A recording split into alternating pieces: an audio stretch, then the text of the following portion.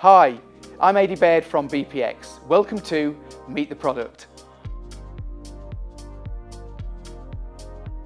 Welcome to the BPX series of short videos where we're sitting down with our key manufacturers to talk about their new innovative products. We've got Wayne Turtill here today from Mitsubishi Electric talking to us about the E800 drives. Wayne, nice to see you. Nice to see you again. How are Thanks you? for joining us. Very well, are you? Yeah, yeah, very good, thank you. Very good. Excellent. Please explain the difference between the E800 and the E700 variable speed drives. The E800 is a direct replacement for the E700, Okay. um, although there are a couple of different variants of the E800. There is a network version that contains four um, network protocols inside the drive, which is selectable via parameters. Uh, Modbus, CC-Link IE Basic, um, TSN network, and also Profinet. What type of motors can we run with the E800? Well, you can run um, standard induction motors. You can run um, the IPM motors, which is a servo motor, Yeah. um, and you can also run the synchronous reluctance motor, um, all from the same same drive. Same drive. You can auto tune into all of them. So the E800, can it be dual rated? Uh, yes, you can. Um, the E800 now goes up to 22 kilowatts in a constant torque format, um, but with the dual rating, you can now run a 30 kilowatt centrifugal fan or pump uh, from the same frame size.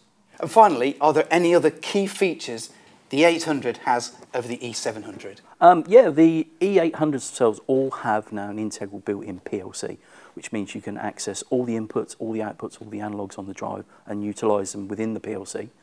Um, and again, this is all programmed from the FR Configurator 2 software, which is a free download from the Mitsubishi website. Wayne, thanks very much for joining us today to talk about these new innovative products from Mitsubishi Electric. We've heard a lot about the product today, so let's hand over to one of our customers that's actually using the product in a live application. Control Freaks are systems integrator. Uh, that means that we deal with control systems for machinery. When it comes to drives, uh, it depends really. Our customers sometimes choose the drive that we're going to work with, and we work with all types of drives from all different brands. Uh, when it's our choice, we tend to go the Mitsubishi route. Uh, we love the Mitsubishi drives.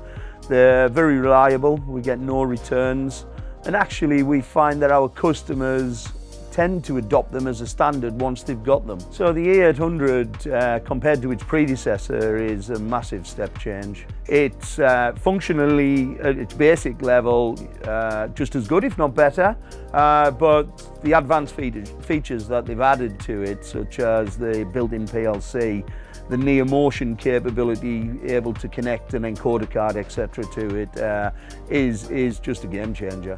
If you'd like any more information, please click on the link, and thanks very much for watching today.